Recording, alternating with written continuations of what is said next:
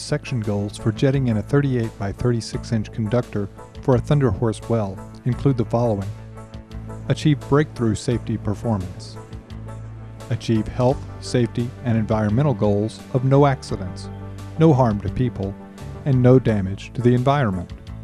Jet the 38 by 36 inch conductor to 270 feet or greater below the mudline with 10 feet of stick up. Use only one jet assembly. Achieve no washout around the conductor.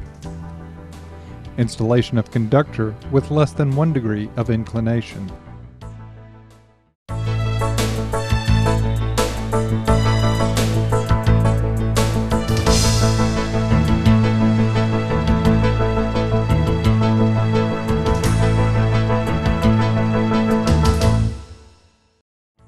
The key risks in jetting in the 38 by 36 inch conductor include loop currents and weather. These will pose a significant risk for not meeting target times and must be closely monitored. Failure to jet to grade. If the target stick up of 10 feet is not met to within plus or minus 1 foot, rejetting the conductor will be required. Unacceptable conductor angle. If the angle exceeds 1.5 degrees, the conductor should be pulled back to the mudline. Consult the drilling engineer for respud. Spacing of the 24 inch bit with reference to the 36 inch casing shoe to ensure optimal jetting. Visibility of bullseye immediately after the 36 inch casing is jetted in place.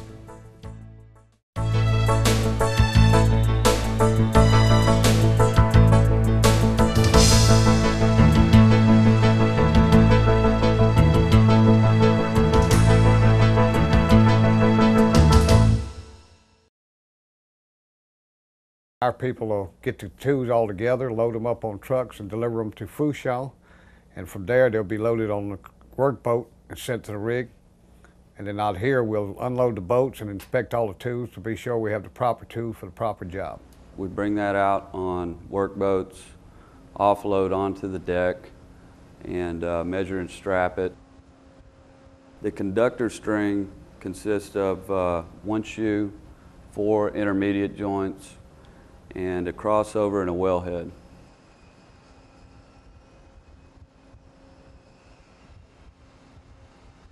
It's painted yellow for our ORV assist so they can see it when we get to bottom in 6,039 feet of water. It's, it's, the visibility is not as clear as it would be. With yellow paint, you can, the visibility is quite well. Prior to running the conductor, we'll rack back uh, on a stand the 38 inch standard running tool for Dril-Quip and have it ready in the setback area to engage the wellhead once we're landed out in the rotary table. Well, we, the, the pipes are picked up with slings, big slings, and set in the rotor table on pad eyes. Bolt-on pad eyes, removable pad eyes to keep from having cut torches or anything getting burnt.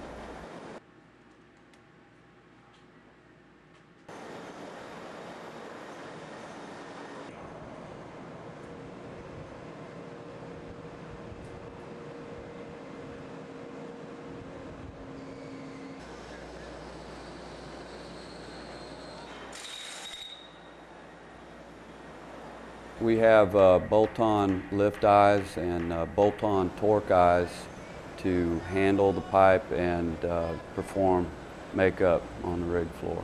One of the features of the multi-thread, it does not have a metal-to-metal seal. It seals by O-ring. The maximum torque uh, that we like to put on these connectors is 36,000 foot-pounds. That's achieved by using the uh, easy torque.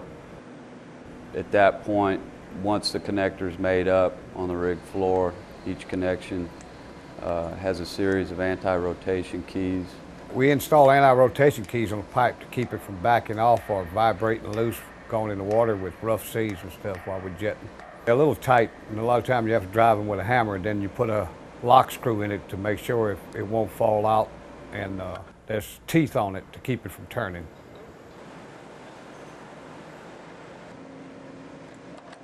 We have our own Dril-Quip box furnished by BP to uh, reuse all these plates instead of the bolts are replaced every time we use it. There's new bolts being put in instead. We don't use the same bolts twice for safety reasons and thread damage can some of them.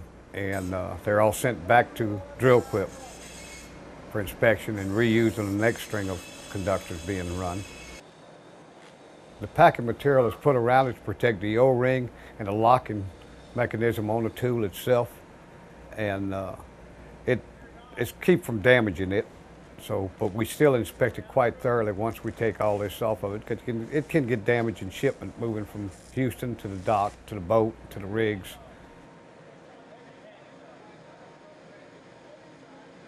There's four big pins on that, and there's four slots cut in the top of the low pressure housing. You rotate it till the pins match the slots, and it is to keep the tool from rotating, the main housing of the tool from rotating. It's considered, a, it's called a dual cam tool, where you got a left hand uh, makeup and you got a right hand release. You turn it roughly five to six turns to the left, and your indicator rod will drop down as you turning it. And once you achieve seven eighths of a stick up on your rod, you should be made all the way up. And it'll stop, it'll bump, then you break it back just a little bit to make sure it's not jammed in place. Then we pick up the wellhead housing out the rotor table, remove the pad eyes that's on it.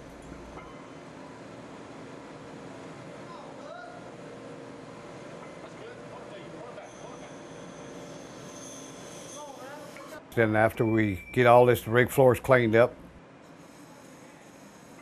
We'll install the running tool to handle the conductor string and lower it to the moon pool into a moon pool cart, which we have a plate, support plate that accommodates the 38 inch wellhead. we land it in the cart and set it down, check it, make sure everything's all right. Then we go ahead and release the running tool with five to six turns to the right. Pull the tool up, bring it back through the rotor table, and we rack it back in the derrick, standing in the derrick.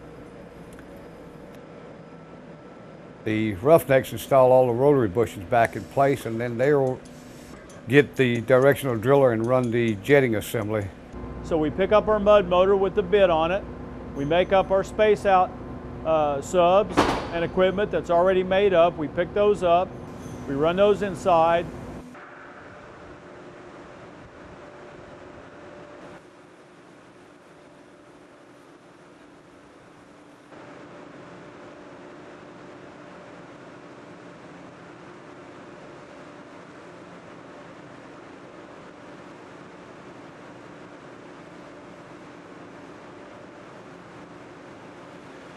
And then the last piece, we pick up the running tool again.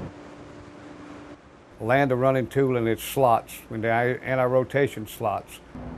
The objective with the BP procedure is to make sure that the drill bit teeth are flush with the end of the casing once the two components are all made, made up and screwed together.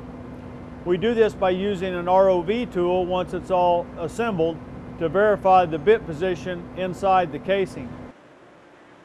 We make the tool back up five to six turns to the left. Then after that, we'll pick it up out of that cart it's sitting in, move the cart out the way, and install what we call some bullseye brackets on each side of the 38 inch casing. The uh, slope indicators or bullseyes are a measuring device in order to read well inclination. The uh, slope indicator brackets are pre-calibrated at Dril-Quip's facility and a leveler bar is installed on the slope indicator flanges in order to get a pre-calibrated bullseye. As you can see on the bullseye, the very center dot is zero degrees. The first line that you see uh, is, a, is a half degree, and then the big line would be a one degree.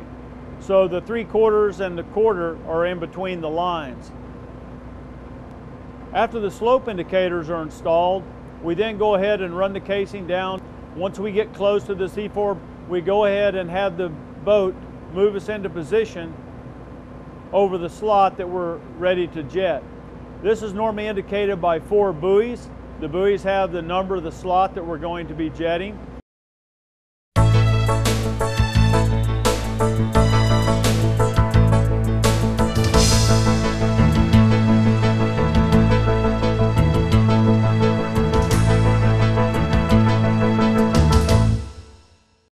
And then we lower the casing down into the mud line. The slope indicators need to stay less than one to one and a half degrees of angle during the whole jet in procedure. Hopefully that angle will be more like a half to one to three quarters of a degree. The way we jet is we use a, we typically use a, a rock bit and we use a mud motor. A mud motor is a tool that Anadrill has that allows you to turn the bit without turning the drill string. We cannot turn the conductor casing, so we put the motor inside the casing with the bit attached to it, and as we pump fluid down through the drill string, only the, the bit turns, and that's what helps us, or that's what we call jetting in the conductor casing. We use a flow rate from about 20 gallons per minute up to about uh, 1,400 gallons per minute. We steadily increase this as we gain penetration depth below the mud line. Typically, we start out turning the, the pumps on at about uh, 20 feet of penetration with about 20 strokes. And then as we get more depth of casing penetrated below the mud line, we bring the pump up so that at the end we're pumping 1,400 gallons. We have an established schedule that we use to do that. Most of the time we're bringing the pump strokes up in about uh, 10 stroke increments, which is about a 50 gallon increment per 10 strokes. So we go from basically 50 gallons per minute up to 1,400 gallons per minute. Once we've achieved our final uh, spud in, we'll uh, check our two indicator rods after we get good visibility on the ROV. This is a double check to uh, verify 10 foot stick up on the wellhead. At that point, uh, we'll set up to release the running tool and uh, we'll achieve a neutral weight at that point and turn the running tool five right-hand rotations using the top drive and we'll uh, pick straight up and out and recover the running tool back to surface and uh, do a final inspection.